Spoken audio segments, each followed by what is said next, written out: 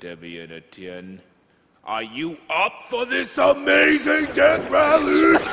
Ten wacky kills a uh, in eight hours. Oh, don't forget, no guns for this rally. You only had enough in you for milk? Yeah.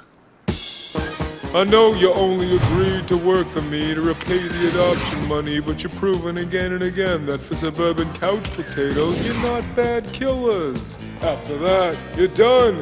You're free. Go ahead, love your kids. Aisha.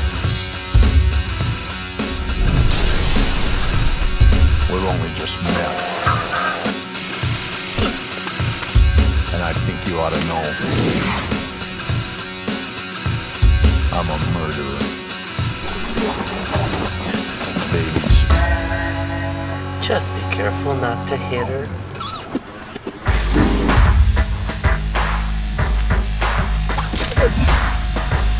Do you want another? No. I'm full.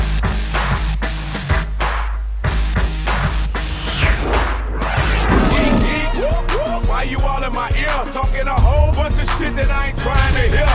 Get back, motherfucker, you don't know me like that.